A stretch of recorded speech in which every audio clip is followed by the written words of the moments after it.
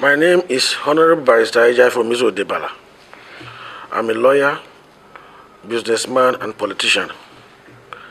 I'm a former member of the People's Democratic Party. Now I'm a member of the All Progressive Congress. One of the things that really annoyed me, even though after it happened, I still remain a member of the party because I was still hopeful that the candidature of Sheriff would be removed in court, was that a night after a lot, after I gone to all the local government area of Delta State, seeing delegates and doing everything, a nine to the primaries, Senator Ifeanyi Okowa called me on the phone and informed me that, oh, this, how are you? I said, fine. Say, please, you are going to be the next governor of Delta State. Tomorrow, when you are coming to the field, please dress very well because you are going to give a press conference to accept your, your nomination as the candidate of the party. And I was happy, and he called the phone. Then we went to the field. Then Okowa and his agents massively bribed all the delegates to vote for Sheriff. Even though I'm not against Sheriff, but the call of Okowa and the betrayal of Okowa was very painful. Then after then, he went to church to go and dance that he has defeated us, telling me clearly that was his enemy.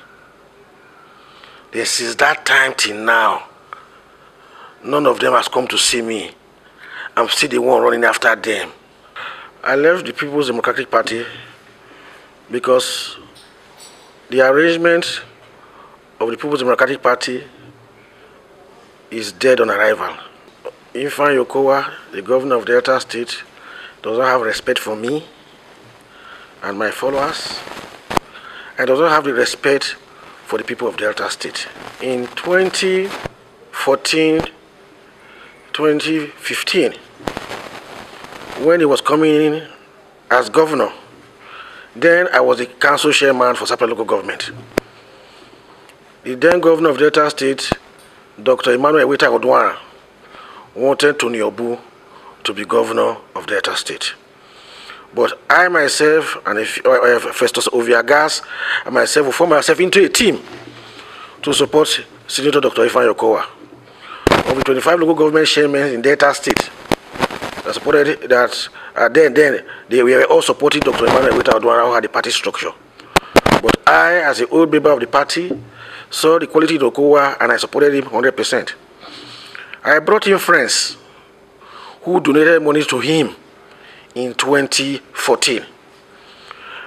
One of our leaders in Delta State, Chief S.L. Olotu, gave me money which I give to Kowa directly in the presence of Chief. S.L. Olotu. Another of my friend in Abuja, one Mr. Sajiri, brought a lot of money I want to give it to Kowa directly. Uh, one of my young boy in America, his name is Victor. I don't want to mention his surname or anything. He gave us over ten thousand dollars, which we gave to Senator Dr. Ifeanyi Okowa to support his gubernatorial ambition. I had direct quarrels with Senator with uh, Dr. Emmanuel Eweta at that time in supporting Senator Dr. Ifeanyi to be governor. When he became governor, I became, I don't know what happened. I'm the one going to meet them. What the hell? Who did they think they are? Who did they think they are? Running to after to Rugumi to Kowa. Okowa will not even pick your call. I'll come more than 100 times. He will not respond. Then I see him, he will not even talk well. People are appointing SAS, SAPA everywhere. I cannot appoint SAP and they say I'm a big man in PDP. I have my boys, I have my followers all over the state. So I just decided that, what the hell, go to where you are appreciated.